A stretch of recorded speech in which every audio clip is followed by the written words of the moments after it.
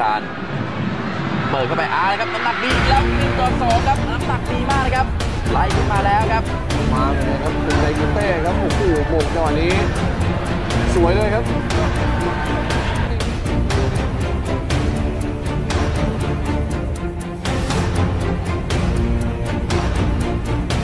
rất nhanh vẫn đang là hoàng đức trong thế rồi dành cho bruno không kịp hậu vệ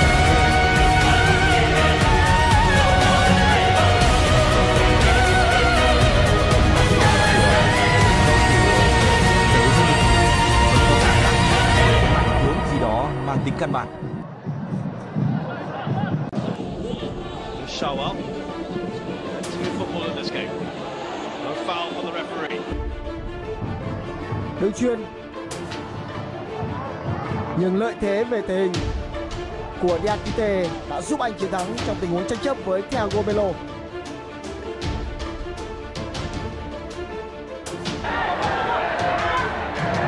xử lý khá hay là của Dũng đây là một thi đấu mà các cầu thủ trên sân ở mỗi một vị trí đều duy trì được sự tập trung tối đa. Chương trình bóng đá TV đã có sự điều chỉnh giờ thi đấu giải có thể Well, I think Manchel, I think he found it tough going. And um, I know he's had a stint in Cambodia, he's used to these conditions, but Diakente Hiệp một sẽ có 2 phút bù giờ và khống chế quá tốt rất hay thoát pressing và sau đó thoát đi rất nhanh nhưng được căng ngang vào phía trong lại hơi nhẹ của Vision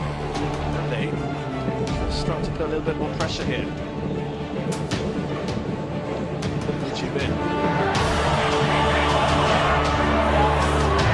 Rimario và Diakite lần đầu tiên trong trận đấu này hai cầu thủ tranh và va chạm với nhau. Chia đã có những tiểu xảo.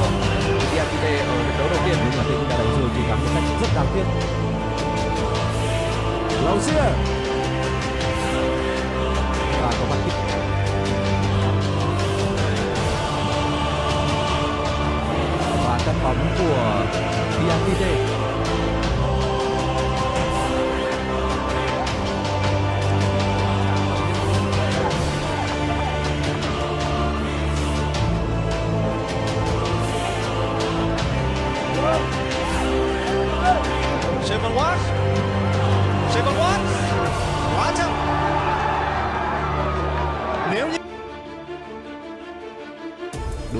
thành phố Hồ Chí Minh đang đẩy lên rất cao Sĩ Bình và Diakite thể hình vượt trội của Diakite đã giúp anh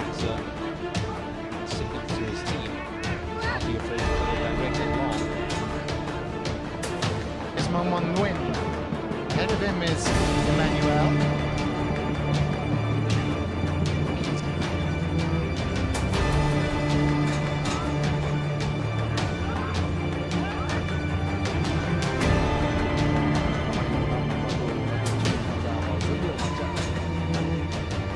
Mạnh Dũng Rudo. Diakite cần phải xử lý sớm hơn. Chúng ta thấy họ càng thi đấu càng tự tin.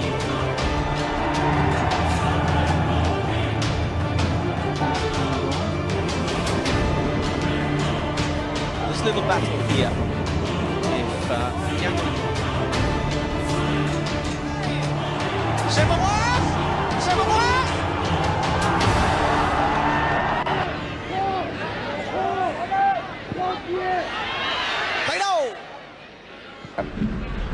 ดูว่าจะจะมีตัวทำได้หรือไม่นะครับเกี่ยวได้ข้างในขณะนี้จะจ่ายโดนตัดออกมาได้ครับ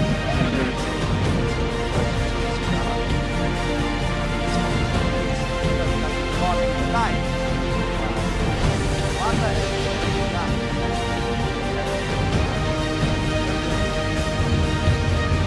Ở tay. rất tỉnh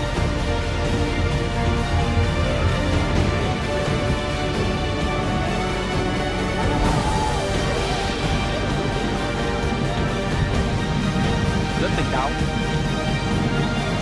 đáng tiếc là đường truyền không có đầy đủ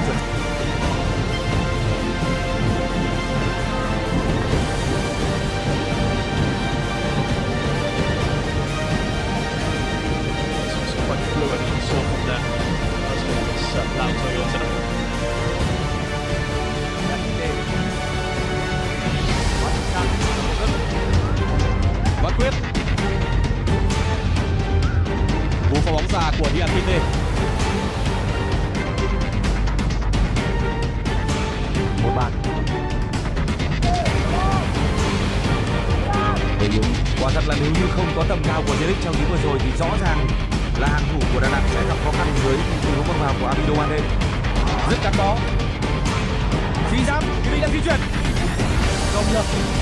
và chuyện đó đã không vượt qua được Nhật Văn Thái. Một pha la hồng tinh tế của Triều Việt Hưng.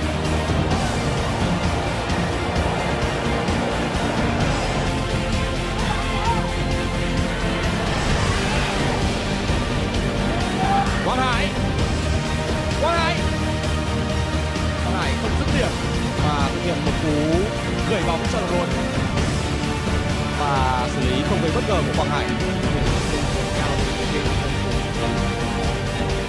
Và cũng là khác đâu. Các bóng tốt của chúng tôi.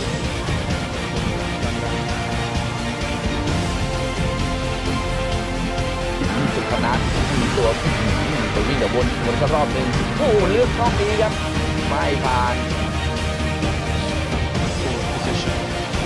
So, so,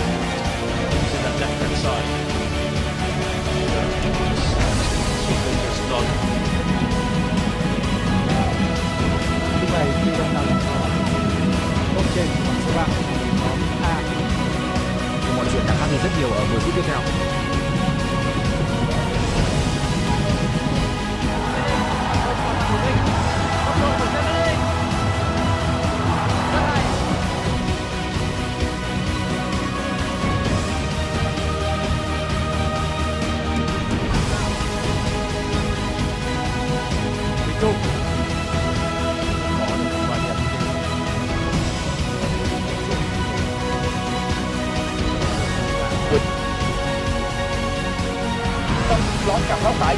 ของโมคาครับแล้วไหลโอ้โหไม่ขาดเท้าอีกเรื่องแล้วขาก็ยัง